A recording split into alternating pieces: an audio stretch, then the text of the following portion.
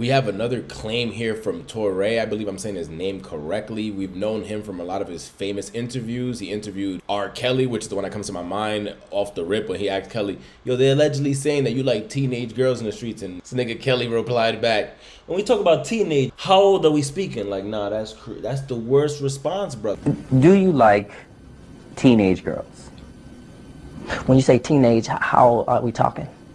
Like, no, hold on. Did you really practice on what's the worst thing you could possibly say if you ever ask that question? Because that doesn't even make sense. It sounds so bad that you practice it. Like, it don't even sound like something just came off the mind. Like, now you thought about that before and thought you was cooking with that one. You was not. And if you were cooking, that's canola oil. We do not need none of that. But he shares a personal story with us here about a time that he had one of his family members get an internship for Diddy. And it didn't end the way you thought. And it took him a long, long time to figure out exactly what happened. But when he did find out, it all made sense. Subscribe to the channel, like the video. We're on that road to 10,000 subscribers. Let me know down below. I usually don't believe all TV personalities when they're speaking about things like this because they all want a hot topic, but he is someone that is respected in the industry. He is someone that I don't think would throw himself out there if it is a lie. Again, this is all alleged. He's not being charged with nothing, so I cannot say this is factual, but he is someone that I personally, personally do not see lying about something like this. Let me know down below. Also, lying about a family member, because saying a family member had an internship with Diddy, I'm sure not many family members had an internship with Diddy, so everybody in the family like, oh, yeah, yeah, little cousin.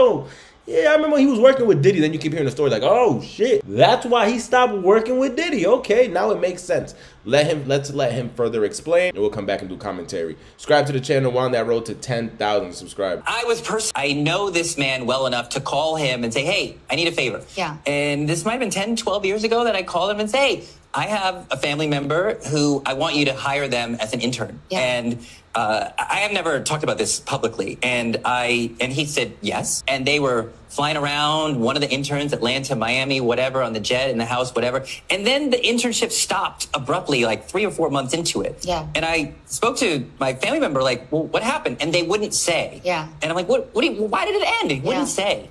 And years later, they finally came out, and this a male, Yeah. and said that Puff had said, "Come home, stay the night with me, or the internship is over." And they said, "Absolutely not." He said, "Absolutely not," and the internship ended. Uh, but from there, I was like, "Oh, like this is this is how it goes." Okay.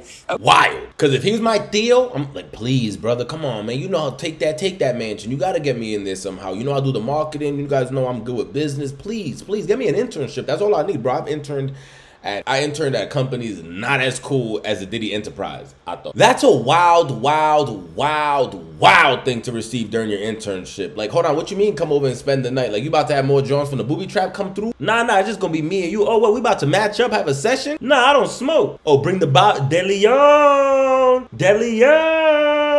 But there ain't gonna be no shorties involved. Like, nah, hold on, what you mean? Hold on, we gonna be in that big ass mansion. You got all these shorties on call, and it's just gonna be me and you. Nah, I'm not going either, brother, brother. I'm not going either. I gotta ask before why you need me to stay tonight.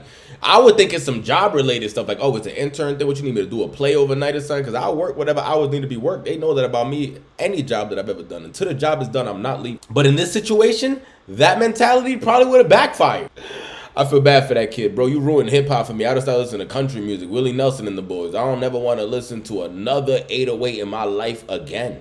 In my life again. Being someone that like myself that does a lot of business, went to college, cum laude and graduating class, I thought that those tools would help me get into the industry. I thought those tools would at least, if I can't be a personality, would at least help me get behind the scenes job, something that I can get my fingers in there. Pause once again with Hollywood. But after seeing all this stuff, it's like, is this a place you even really want to be at? Flying around with Diddy doing all this, couldn't have Diddy diddled him when they were flying? Like, why he gonna have to ask you to spend the night? I'm sure there's a place you probably couldn't make it back home one of those nights you were flying with. Why did he diddle you that day? So many questions with this, so many questions with this, but let's just say, let's pray the best for every party involved. Let's hope the truth comes out. But he's someone that said he was close to Diddy, so close that he can make calls and ask for favors to get a family member hired as an intern. Why would he come out now and speak against someone that's helped a family member out of his to get a position that they weren't in previously that they want if stuff went perfect? Subscribe to the channel. Let me know down below. Share your thoughts. Do you believe these things against Sean Diddy Combs or do you not believe this against Puff Daddy? I can't even keep up with his name. Brother Love, Love Brother. I can't even keep up with all of them. Let me know down below